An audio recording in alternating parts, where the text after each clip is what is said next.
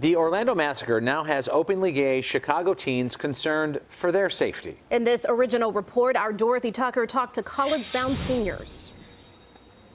I want to honor those 49 people who lost their lives At Whitney Young, a moment of silence for the victims of the deadly shooting in Orlando and a reminder of the importance of tolerance. understand everyone has a right to have whatever color hair they have, how many tattoos, how many earrings, and whatever their sexual orientation The Gay Pride Club has been a fixture at Whitney Young for more than 20 years. Rosalina Torres is the current president. You expressed a fear. while I'm getting ready to go off to college and in a few years be able to go to nightclubs or other social gathering events that I would have to fear for my own life. That fear is echoed among Torres's fellow club members, all headed to college. The excitement of new friends, and new places, now replaced with uncertainty. I don't know where I can go. I don't know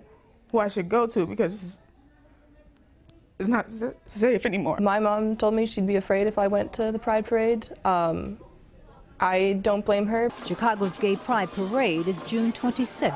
Verbal harassment is enough to put somebody back into the closet, so to speak. And that real threat of violence, of firearms, of, anything, it makes you less open because you're sort of like I have to keep this um, this part of me like concealed right now because there's so much danger. It's very hard because you know that there's nothing wrong with you, but other people think that there's something wrong with you.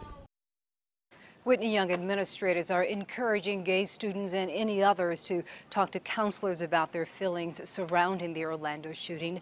The Gay Pride Club is scheduled to meet on Wednesday for what they call a family gathering, but all are welcome.